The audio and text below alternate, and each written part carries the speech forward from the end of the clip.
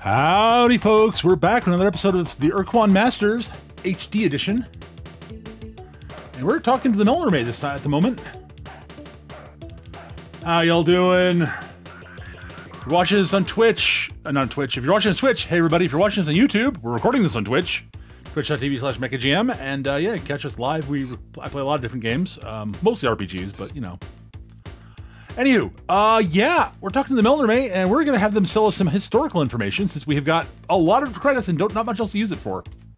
Almost 25,000 of your years ago, there existed near this region of space an association of star-faring races called the Sentient Milieu. This group formed over several thousand years to mutually enrich their respective cultures, to provide a safe creche for emerging sentient species, hmm. and to afford themselves a degree of protection from external hostilities via military alliance. Of the seven most active milieu members, the most famous race, indeed, you know them well, Captain, were the Ur-Quan. Uh huh. More historical information. The Ur-Quan evolved on a harsh planet, orbiting a star outside this region of space. They were solitary predators, like your praying mantis captain, or polar bear, who had a very limited set of social behaviors, most of which dealt with sex. Since they had to compete for survival against many physically superior species, the Ur-Quan evolved intelligence and tool use in much the same way as your own species. The Ur-Quan also learned to master their fierce territoriality, to build a cooperative planetary culture. When the Ur-Quan were discovered by the Taalo, they had just begun exploring their solar system in crude atomic vehicles. Although the Ur-Quan attacked what they thought to be an invader, the Taalo were patient. They explained the purpose of the sentient milieu and offered the Ur-Quan membership. The Ur-Quan recognized the benefits that such a system provided, and once more conquered the hunting beast within themselves, to become cooperative, productive members of the milieu. This lasted for several thousands of years. Ooh. just over 20,000 years ago, when your ancestors were learning to chart the course of the moon and stars on animal horns.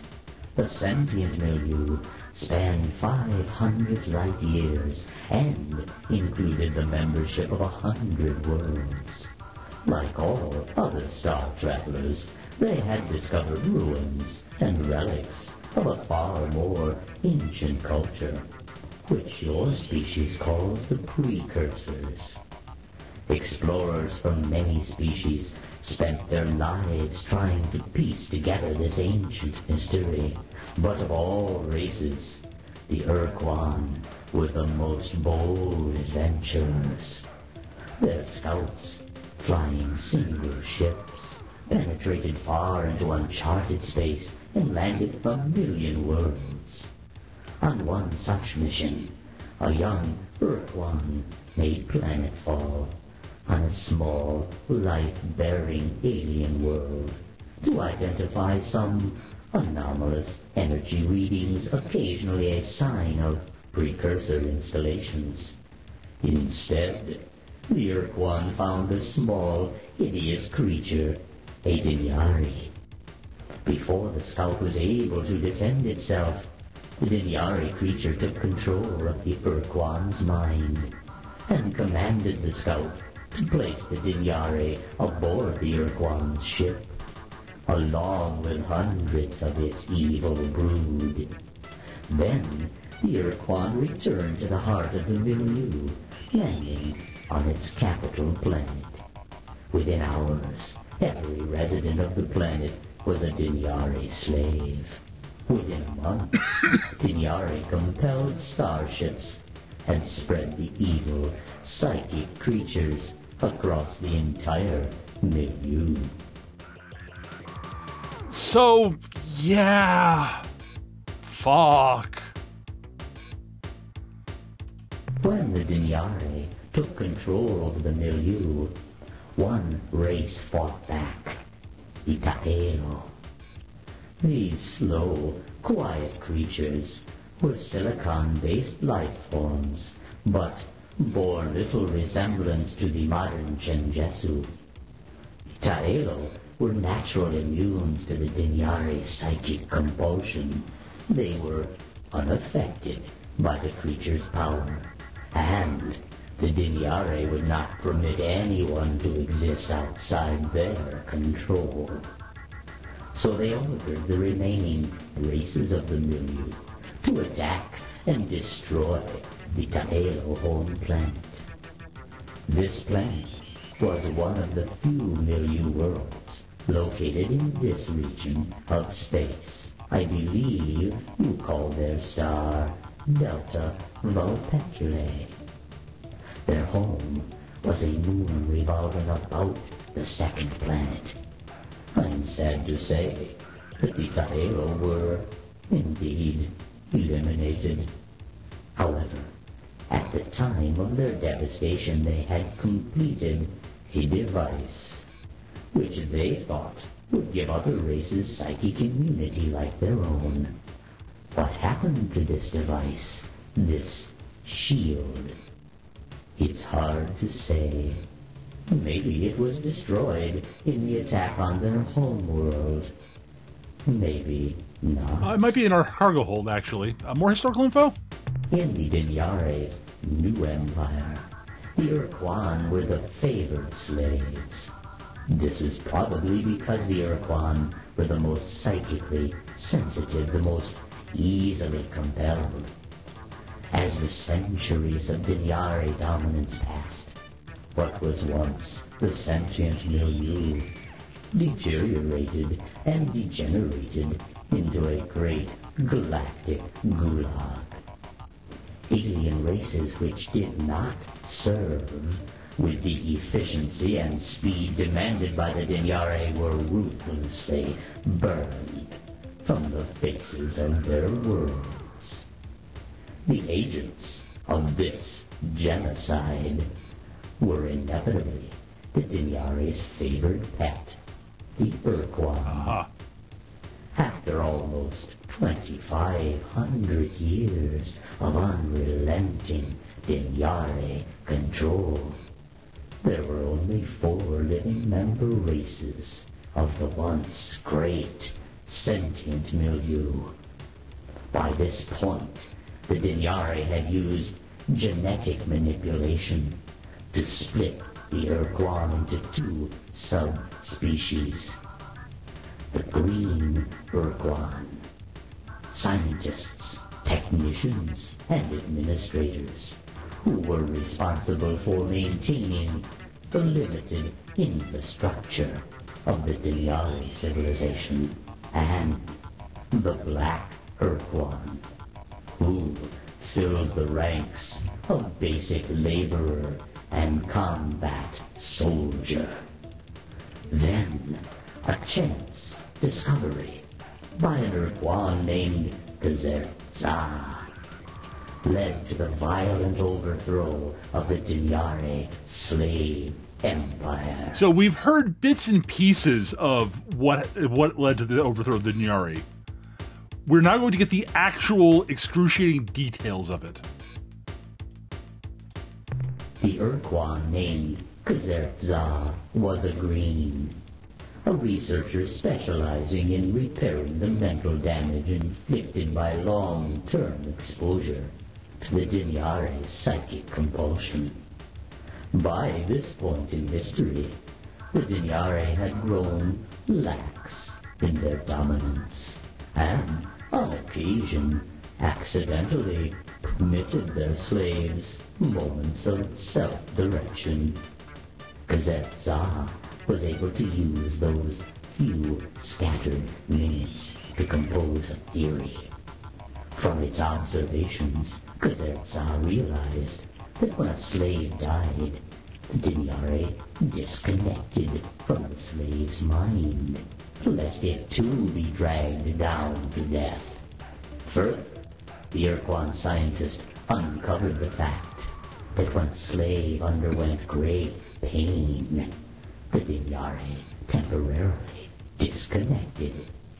But that the degree of pain had to be extreme, nearly lethal. Za chose its moment carefully. It waited until it was near an open transmission unit.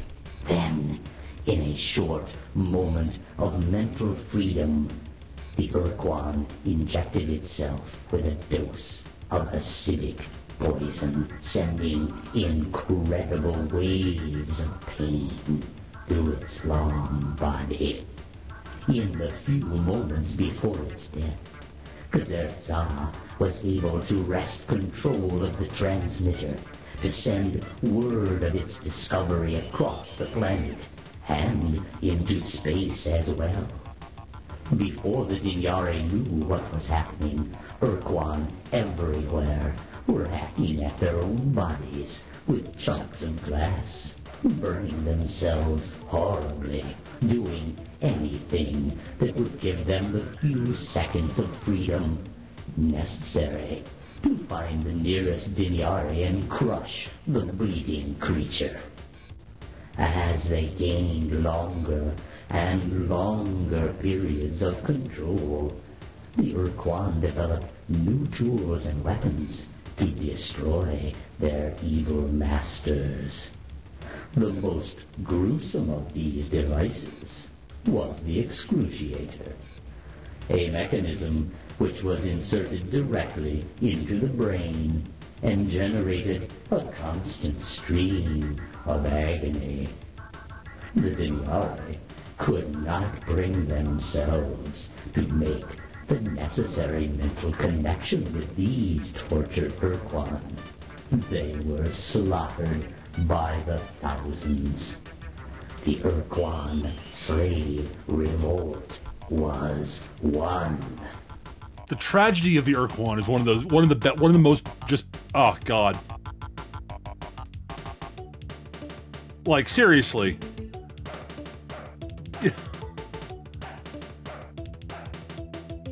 Oh,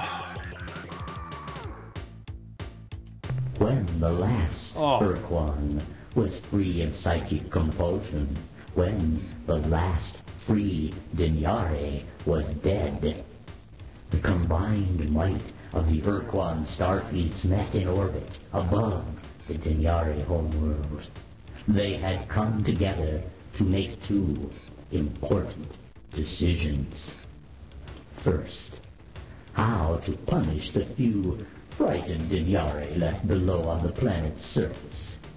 Second, how to ensure that never again would the Ur-Quan be made slaves. uh-huh. The first decision was made swiftly. The Dnyarri would not be allowed to die. Ah, that was too kind a fate. Instead, the creatures would be genetically modified into sub-sentience. They would become dumb animals.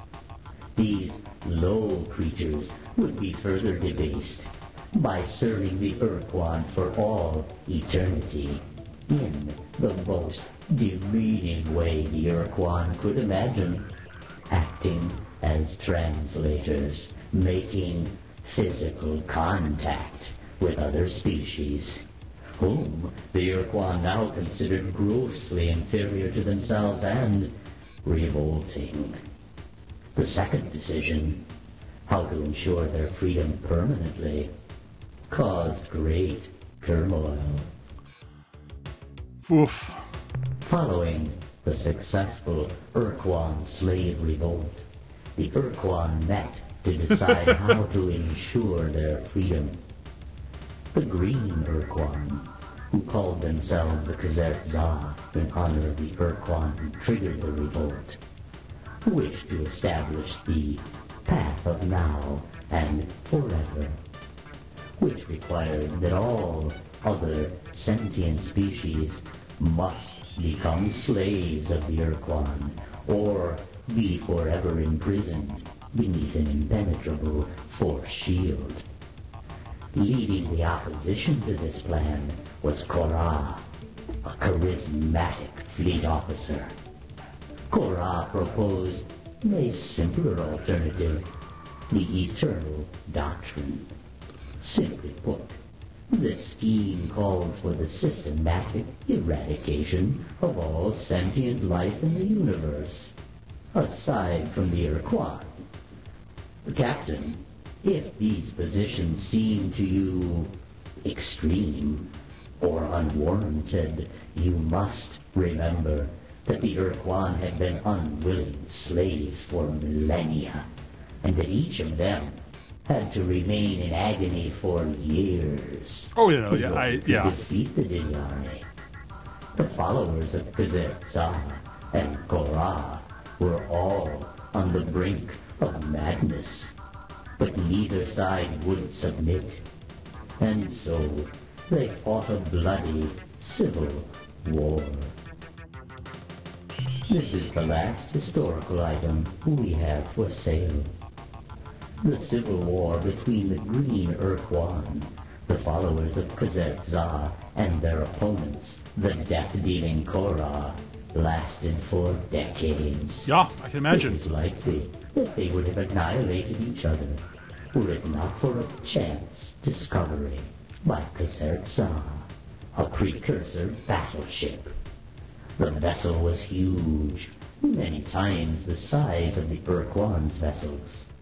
The precursor ship sliced through the Kohr-Ah forces in days. The Kohr-Ah were defeated. However, in their victory, the Kzer-Za were humble. They realized that there was a chance that they were wrong, and the Kohr-Ah were right. Instead of destroying the Kohr-Ah, the Kzer-Za let them go, directing them to make their way through the stars, traveling against the spin of the galaxy. The Kzer-Za would travel in the opposite direction, and when the two Ur-Quan forces met, they would fight again in ritual combat, with the precursor battleship given to the winner. Captain, this is happening here and now.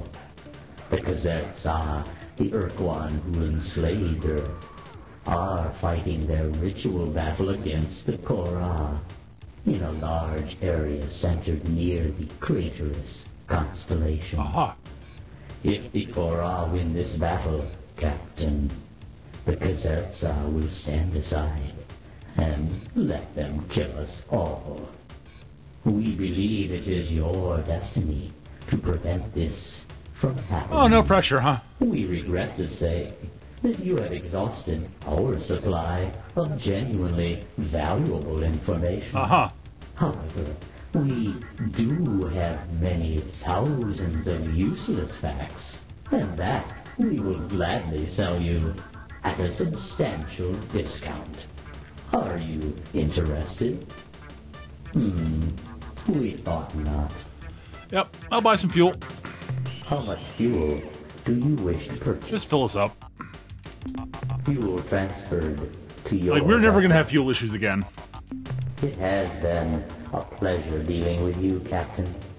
We look forward to your next visit. Mm-hmm.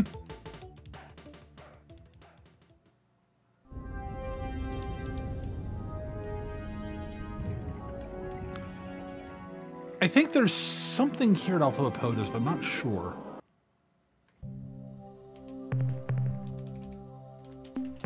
Like, the Druuge mentioned something about Alpha Apodis, that's why I came here.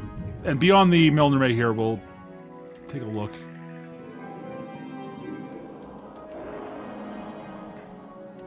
I mean, this might just be. I, think Alpha Apodis might just be the planet where you get the the, the Ur-Quan uh, dreadnought thing. I mean, there's gold here we can go grab. Might as well.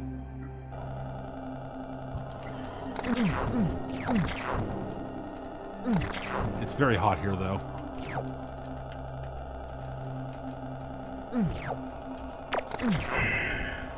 Oof. Yeah, that planet's just not worth harvesting. It's worth it was worth coming down once, try it, but yeah.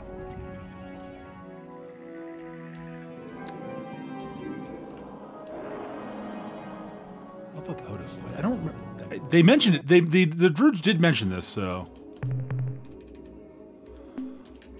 Like the system is going to be like, like nothing here is going to be safe to land on. So I'm looking for something of, of note.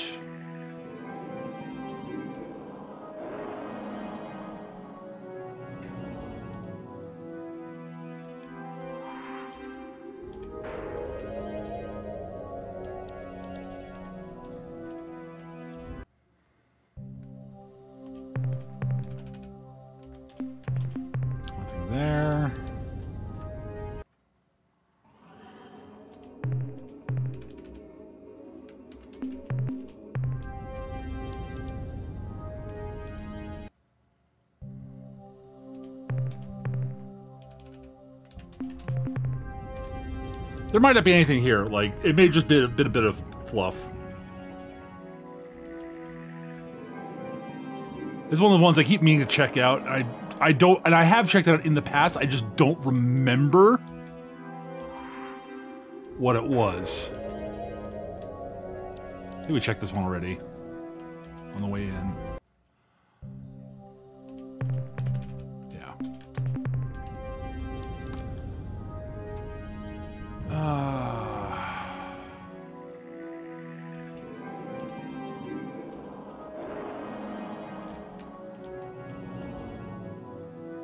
There might be nothing here. Like, there legit just might be nothing here.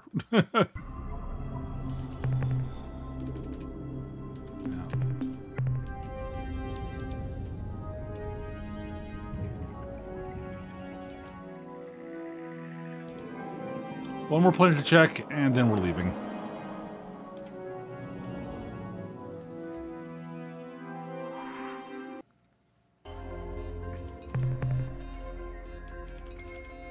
Nope, nothing. All right.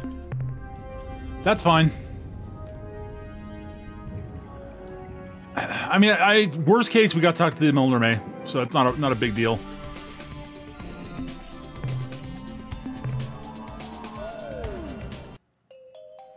All right, let's go back to Earth. I think is that portal. Yep.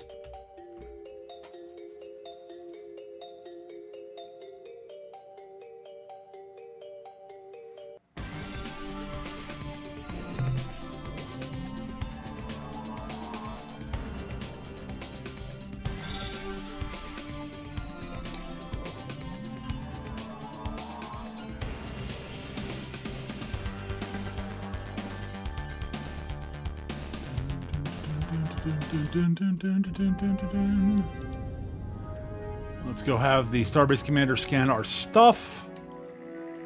We should have had them scan the Brevixie's caster than I'm thinking about it, but whatever. I think they have something interesting to say about it. I forget what, though. Hello, Captain. Before we go on, I have something important to tell you. This seems strange to me, and I considered not bringing it up, but not long ago, six of my people fell unconscious simultaneously for no apparent reason. When they awoke hours later, they reported being overwhelmed by a feeling of something very wrong that had taken place. The medtechs couldn't find anything wrong with these crew members, but they discovered one correlation. All six of them have exceptionally high Esper ratings. Huh. Interesting. Un momento. All right. And uh, yeah, let's uh, offload minerals. More fuel for the fire, eh, Captain? That last load should keep it blazing. The analysis reads as follows.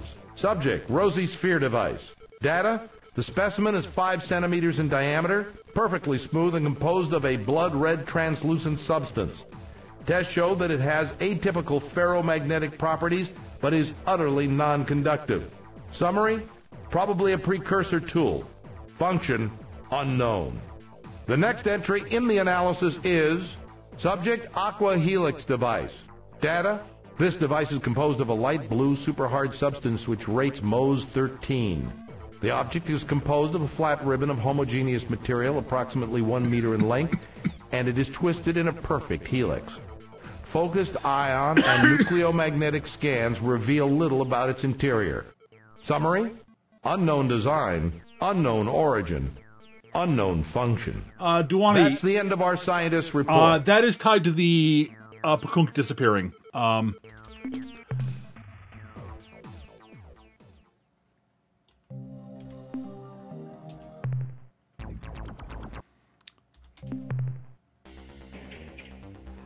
nominally speaking, it's not like a big deal. Like in in our game, it's not a big deal, but it's like they did not separate the Pkunk disappearing safely and the Pkunk disappearing not safely, basically.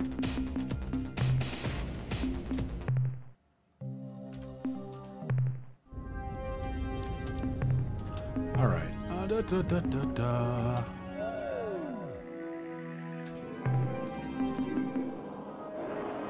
I want to see something. I want this is something I want to check here. I've I've it's been a while since I've tried this. I don't remember if there's a got special dialogue for partially the partially repaired or Ultron. Captain, the analysis reads as follows. Subject, Ultron device. Data, first we thought this was a piece of junk. In fact, it may still be just that, but when you submitted it to us, we infused it with gamma radiation and found that the scatter signature was identical to the patterns recorded from the empties, the singing hoops, and the big dud, which were all found in precursor burrows on Procyon. Summary. We are now convinced that this is a precursor tool, but it remains dysfunctional. That's the end of our scientist report. So I'm gonna have him scan it each time Return I partially repair the, the Ultron because it's been a little while since I, I I thought I remember them having bits of that from one of my playthroughs ages ago, but I haven't done it on stream. So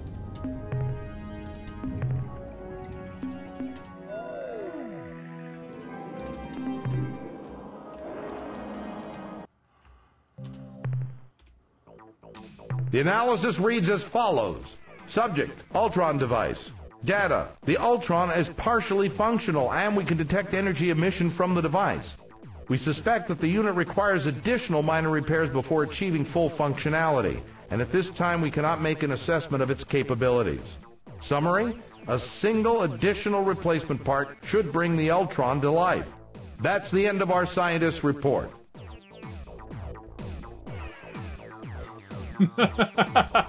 yes, Bring yes, back Duwani. lots of minerals, Captain.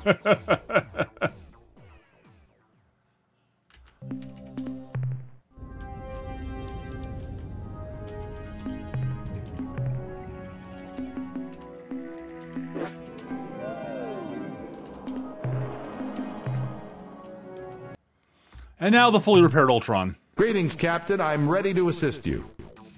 The analysis reads as follows. Subject, Ultron. Data. We have determined that the so-called Ultron is in fact the appendages of Dawn, described in the precursor fragment found on Rigel in 2123. In the partially translated precursor text, the device is described as a mental amplifier which focuses mental energies of the holder for the purpose of discrete change. Unfortunately, human brain emanations do not seem compatible with the Ultron, nor do those of the allied species we have tested. Summary? Perhaps the Utwig who claim to understand this device can shed some light on its true function and power. That's the end of our scientist's report. Try to avoid getting gruesomely killed, Captain. So yes, the fully functional Ultron is in fact a precursor artifact, a like an actual powerful precursor artifact. All right, we're gonna go deliver this to the the the Utwig.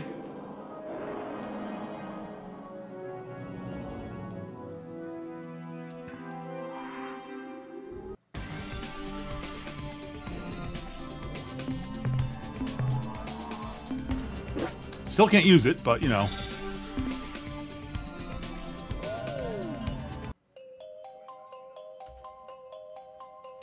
All right, let me double check this.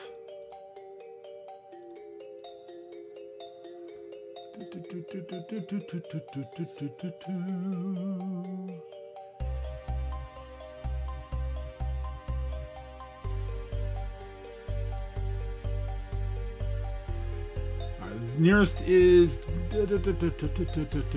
Supox space, so 530 by 528.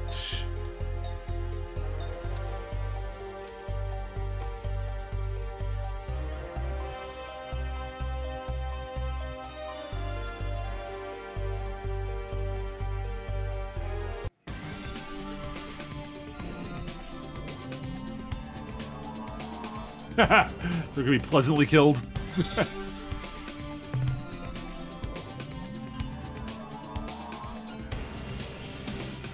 want to check something here.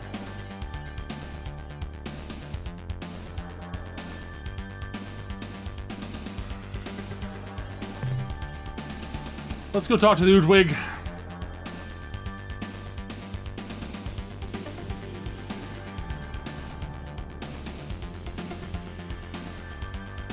And at some point, I actually want to go back and talk to the Slylandro. I want to see if they've got anything to say after we've uh, been culling the probes for a while with the, with the destruction code. We've not really seen many of the, the probes recently, so I forget if they have anything else to say at that point.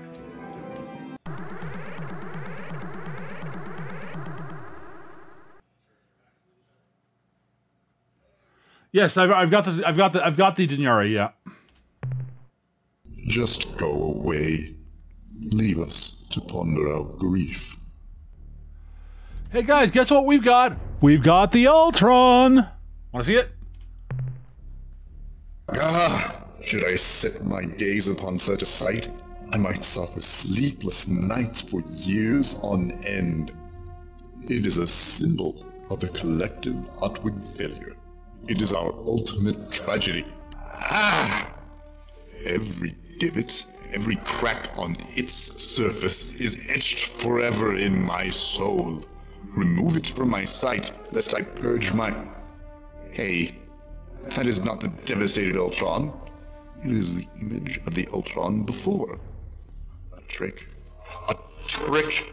Oh, I had no idea that any species could sink so low. How dare you try to manipulate me with that cheap stage prop? Why, it's not even... Hey, wait a second. It looks like... Can it be? Yes, it is a miracle. Oh, happy day. Joyous occasion. You have our eternal thanks, good captain. You will be immortalized as the blessed figure that delivered unto us our future. We will revere your very likeness. Let me take the Ultron. Yes, I feel the link, the knowledge, and the power. Hmm, it seems that there is much to do. Is there? Indeed. It seems that you should proceed to the second moon of the sixth planet of Zeta Hyades, and take what you find there. We no longer have need for it. But the Ultron reveals that you will.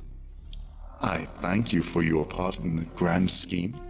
We now recover that which is ours via destiny, and proceed to perform our essential service for the universe. But wait! The Ultron throbs and whistles. Matters of significance are being relayed to our brains. It has been so long since we communicated with the Ultimate in such a manner. But slowly, the truth is revealed. Our destiny. We have been directed to join with our Supox allies and attack you.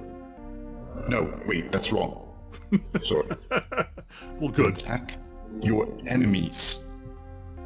The Ur-Quan and the Kohr-Ah. No, that's not quite right either. What? Oh, okay. We must strike only the black ships, only the Kohr-Ah. In addition, we will grant you the boon of our Jugger starship designs, as well as a supply of trained starship commanders. Our Juggers are nigh invincible. I can also say with certainty that our allies, the Supox, will give you the same assistance. Together, we shall defeat the Kohr-Ah, or at least provide you with a few more months to find a more permanent solution. Now, Captain, we must leave to prepare our battle fates. Wish us luck. So yeah, that's some a little bit of dialogue that didn't get included in the original game that really, really should have been there.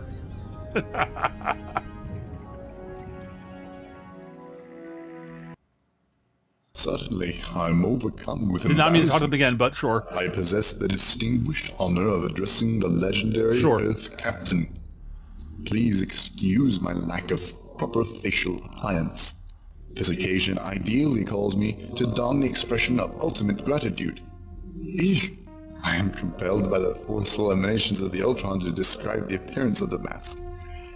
Its foundation is composed entirely of a matrix of beetle secretions and trubofern in an intricate and complex texture. The process is extremely time-consuming, since even the best-trained beetle colonies will produce a thousand rejects for every successful foundation. Alas, it will be many years before any of the Epic will be able to wear such a mask. Ah. We are pleased that we're of assistance with the recovery of your Ultron.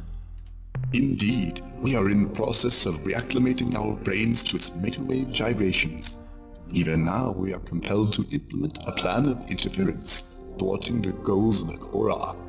We sense, through the influence of the Ultron, that these creatures of evil have goals which are mutually exclusive with our existence and your own. I mean, yeah, Even now, aided by the intangible guidance of the Ultron, we formulate a plan that will serve to preserve the diversity in the galaxy. We prepare an armada composed of the collective might of both Utwig and Supox forces that will pursue the invaders with the intent of foiling their plan of doom. does the Oracle device give to us a potential course of action? I'm curious to actually see what this is. Your request is within our capabilities. One moment. Hmm. Emanations from the Ultron. Orange, furry air breathes tender yawns. Yes, it all becomes clear now. You must do something with the Great Bomb. The precursor relic we kept at Zeta Hyades 6b. It seems that this bomb must be, uh, eaten? No. Hugged? No. Ah, Improved. That's it. The bomb must be improved to fulfill its final destiny. Prepare anticipate air of glory for the Farewell. There is much for us to do. May the Ultron be with you. Oh, you know, seriously, the Utwig ships are actually terrifying. They are among the best ships in the game. I'm not particularly good with them.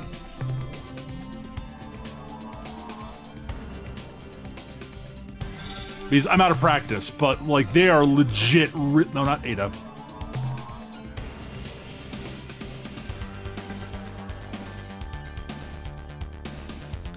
Their ships are bordering, if flown right, their ships are bordering on nine vulnerable. It's, oh god. So their special ability is a shield. Okay, so their main gun, fire, it basically they fire these six little shots out of the front of their ship, each doing one point of damage. Uh, and uh, each, so, but their gun chews up no power. But it, they can't run it, and they're special at the same time. Their special is a shield that costs power, but while it's up, their ship doesn't generally doesn't regenerate power naturally. Is the big thing. Uh, their shield, went up, uh, makes the ship invulnerable, but it chews up power. But they and they can't shoot while doing that. Um, but when they take damage from a weapon while their shield's up, it refills their battery. So timed right, their ships are invulnerable. And the the the are probably the best small ship in the game, flown right again. Uh, their special basically enables them to uh, become inertialess and uh, be able to instead of turning or thrusting or what have you, while holding the special, you can side slip with with momentum or just go directly backwards. It's ridiculous. And their guns have very high rate of fire and shoot very little power. It, oh god, their guns are really good. But yes, the Supox and the combined Supox and uh and or ooh, more bio. We'll grab it. Sure, what the hell. And uh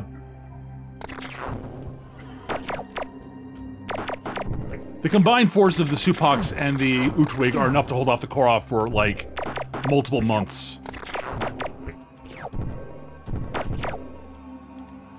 I think they like they add like six turns to the Doom Clock. Not six turns, six months. It's a long time. They add a lot of time to the Doom Clock.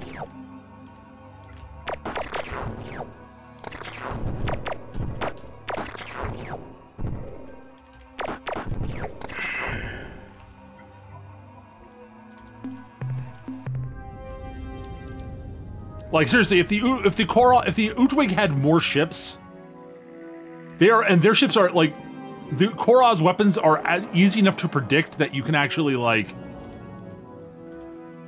actually time. It's actually not that hard to time the time the uh, time your shielding on them. Enemies who fire like single slow shots or slow shots in like you know not not high rate of fire, the Utwig are really good against. The Utwig are not particularly good against the Ur-Quan of the fighters, unfortunately. They aren't really fast enough to keep away from the fighters. Their big flaw against the Ur-Quan. Which means the fighters just pick them apart, and if they ever drop their shield, they get eaten alive by the fighters. It's unfortunate. Which is why they go after the Kohr-Ah and not the Ur-Quan. And they can beat the Ur-Quan, it's just that's the it's a rough matchup for them as opposed to the uh Damn, they've got this this system's got a lot of resources. Damn. Multiple treasure worlds? Hmm. I mean, I don't need to do this, but like it's habit. I legitimately don't need the resources at this point in the game. I can generate nearly infinite re- uh, RU just by buying buying fuel from the uh, from the. Uh, but I'll demonstrate that in a bit at some point. I might demonstrate that at some point. Basically, buying a bunch of fuel from the uh, the Melnorme and then selling it back at the starbase. Like in theory, I've got about three thousand RU worth of uh, about three thousand uh, cre- credits, right? Three thousand times, and it's twenty RU per credit. Basically, my credits is roughly equal to 60,000 RU. I currently have like I've got a bunch of RU, so I'm like I don't need to do it, but you can make a truckload of RU just by buying fuel from the Melnorme and selling it back to selling it off to the uh selling it at the starbase.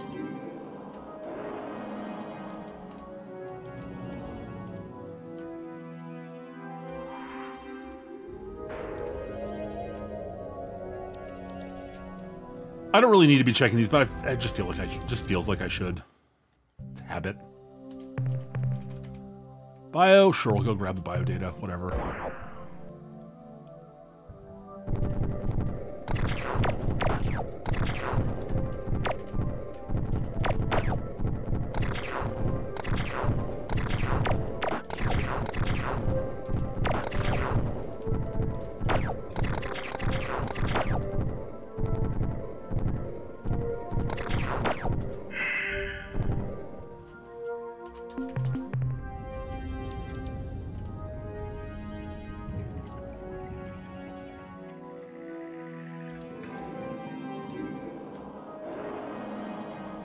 I would say that the Chmmr Avatar is probably still the most powerful all, all around ship in the game. It's got some bad matchups, but other than that, it's ridiculously powerful.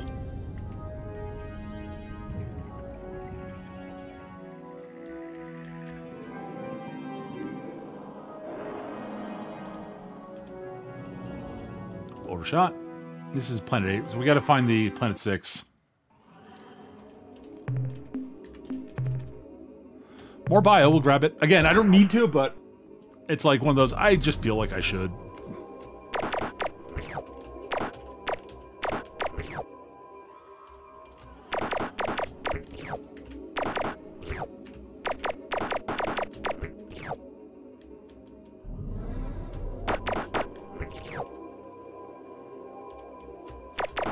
Those big blue blue blobs blobs in the non HD version are worth a lot more. I don't remember. I don't know why they changed it in this one. They also took longer to take down, if my memory serves me correctly.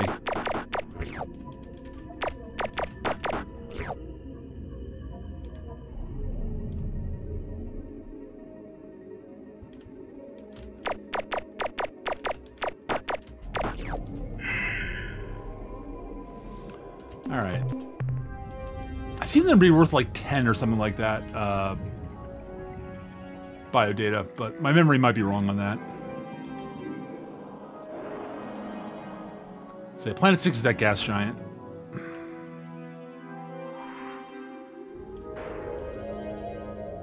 Yep. Alright, let's scan B for A. We'll scan A first just to... Nothing. Alright.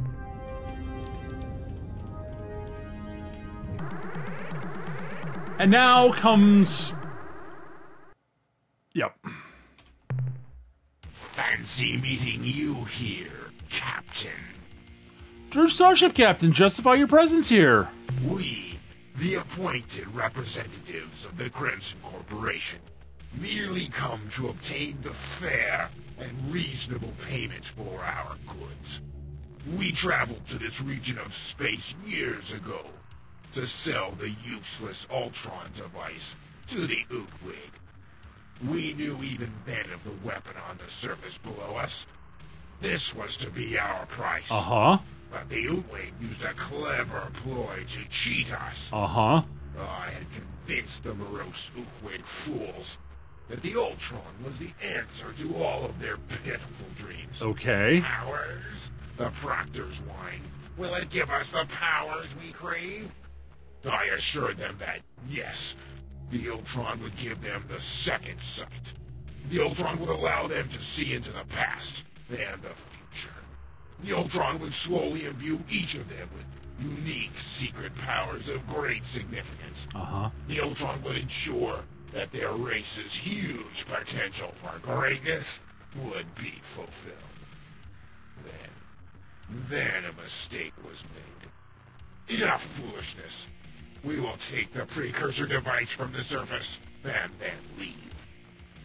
Thereafter, I may see fit to bequeath the entire planet to you, Captain, for your invaluable services in the past, provided you leave now.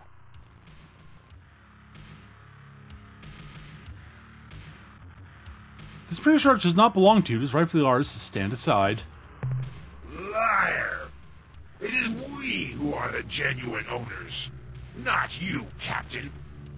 Those many years ago, when we offered the Ultron to the Utwig, how they capered and laughed at their good fortune. Fools.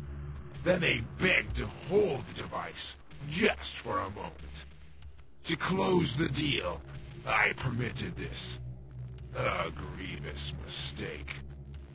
The moment the High Proctor touched the Ultron, her body arched and her eyes rolled back in her head. She began to babble meaningless phrases and howl like a beast. We had expected the Utwig to fall for our cell, to buy the useless device, but never with such gusto. Uh-huh. Their self-doubt and lack of clear reason left them vulnerable to our every manipulation. Uh-huh. But then, the Proctor's body relaxed, and her eyes slowly closed. When they reopened, her visual orbs shone with a wild and frightening light. This is all we could have dreamed of, and more, she intoned. And now, Druuge, as to your price. I opened my mouth to speak, but before I could utter a word, the Proctor interrupted. Wait! The Ultron feeds your thoughts directly to me. Do not speak. I know what you desire. What could I say?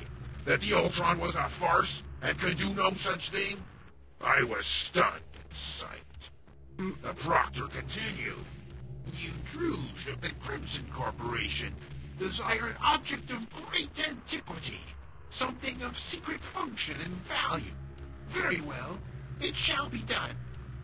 And with that, we were led to a small vault. The proctors ceremoniously opened the door of the vault and explained that because we had been of such great service, all of the treasures within were now ours. Inside we found a hodgepodge of ancient and useless artifacts, a glowing rod, an absurd trident, and more such junk. I could see no way to salvage the disastrous situation at that time. But when I heard of you, your travels, and your foolish quest for freedom, Trying to keep a straight I face. Trying to keep a straight you face. Could be the agent of our justice. And lo, it is so. You have heard our justification. It is valid and unassailable. Now go and do not return. It sounds like you were actually paid and you accepted the price. You made the deal, Captain. Uh, Regardless of your feelings matter, we'll be taking it because um yeah, you paid a price. You, you you took payment. You could have said no. Just saying. No, you will not. Oh, are you gonna stop us? We know your soul, young captain. It is no brighter than ours. We acknowledge our greed. We revel in it. You are the dishonest one, hiding your shame in shadows. You fabricate justifications, rationales. In the end, we are You see, no, we're not. But now you stand in our way. You will not be moved. Therefore, we will add your true name to our ledger of hatred. But first, die, child, die! Uh, okay, well, and now Captain Adama.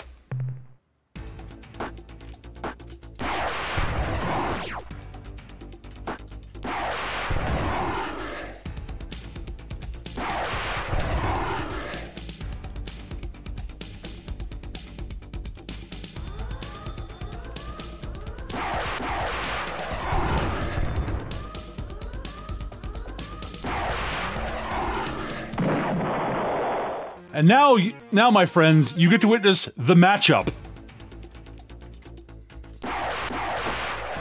The matchup of glory.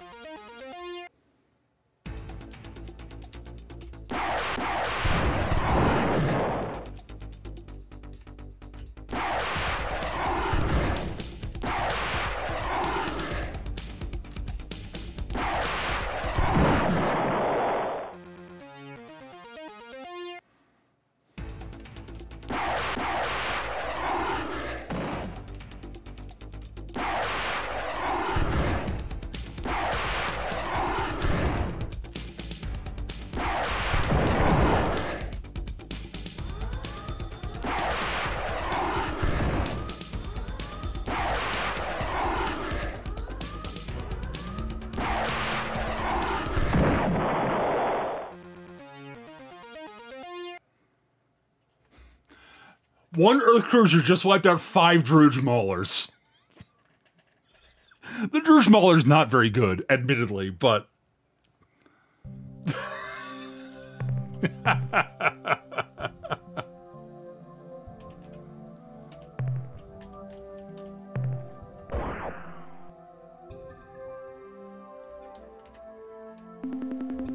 Report from the surface.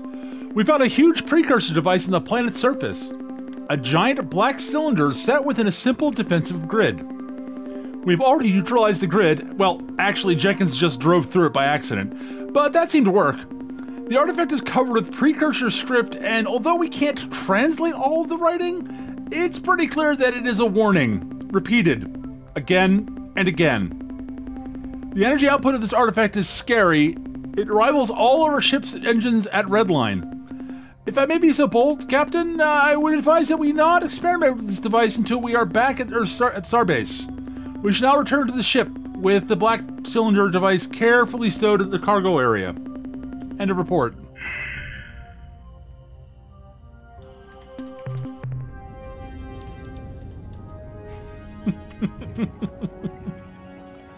so yes, the Earth Cruiser is not one of the best ships in the game, and it clowns the Druuge Mauler.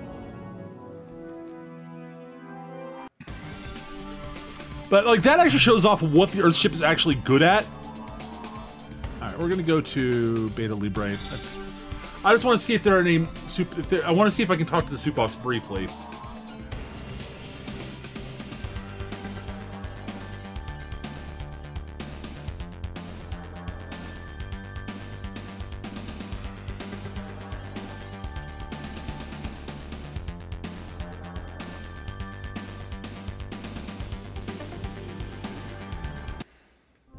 Yep, good. There's the Supox. I just want to chat with the Supox briefly. Hi. Want to see what they have to say after we return the Ultron. I forget. Hello, fellow warriors. We go to uproot our enemies. So, what are you doing? Our Utwig allies have instructed us to prepare for combat, and so we make ready. Our destination is Antares, where we shall face the Kohr-Ah in battle. We must defer to the Utwig, who have superior knowledge of such things. They specifically instructed us to inform you that you should not endanger yourself by joining us in this battle. Aha.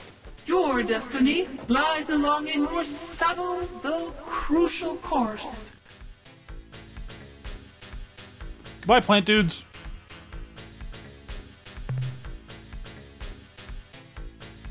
Wish us luck, human. Good luck, plants. I love the Supox. I like the Supox a lot. They're neat. All right, we're going to go back to Earth and have them invest, uh, investigate the device, and then we're going to go talk to the um, the Syreen. Doop doop doop doop doo.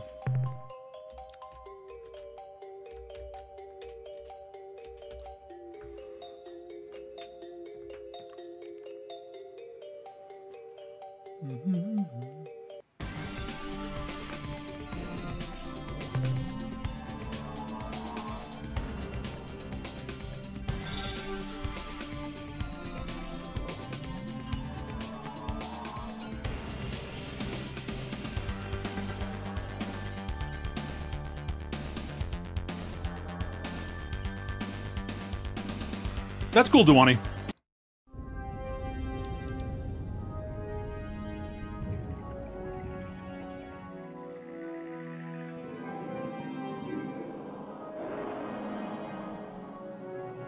I keep meaning to play the Pathfinder video games. I just haven't had the the time or the energy to play an, an isometric RPG in a while.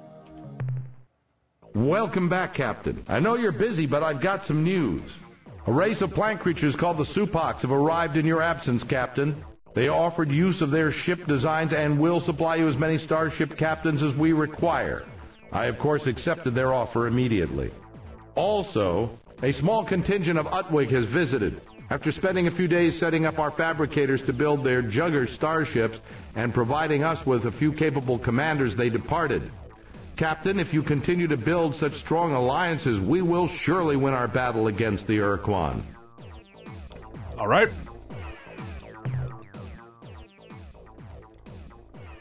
Good work, Captain. The analysis reads as follows. Subject, Utwig bomb device. Data, analysis has yield little information about this device largely because of our technicians' unwillingness to open it or even remove the bomb from your ship. That aside, here's what we know so far. The device is correctly defined as a bomb, one of enormous destructive potential, but it's not of Utwig origin. Nothing about it relates to the technology we see in the Jugger ship. We believe it to be of late precursor origin, though it somewhat resembles certain Chenjesu technology. Its original function? Probably a planeteering tool for dispersing unwanted moons. Summary? Unless there's a strong reason to do otherwise, do not activate this device. Leave it alone. Any experimentation should be conducted at least 12 astronomical units from this starbase, and preferably a bit further. That's the end of our scientist's report. All right. Farewell, Captain. Yes, unwanted moons. All right. I'm going to clear out a few ships here.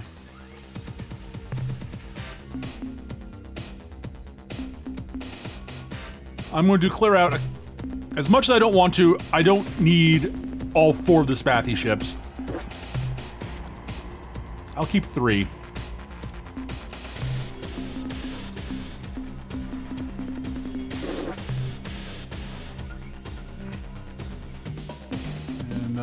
Hang on to one Arilou ship. Uh, do I want to hang on to an Earth Cruiser? Yeah, I'll hang on to one Earth Cruiser. And one Pkunk ship. And then we're going to build a pair of Utwig Juggers and a pair of Supox Blades.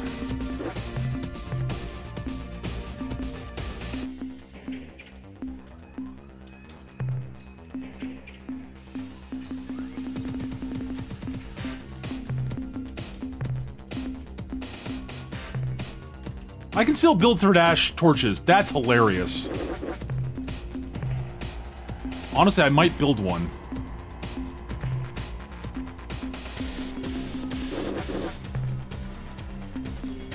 Um. Nah, I think we're good. Ah, I'm tempted, actually. The Thraddash... The Thraddash torch is a... The reason I'm thinking of building the Thraddash torch is it breaks the AI on a lot of ships. They don't realize that the... The AI doesn't seem to realize that the trail the Thraddash leaves behind does damage and will just fly into it.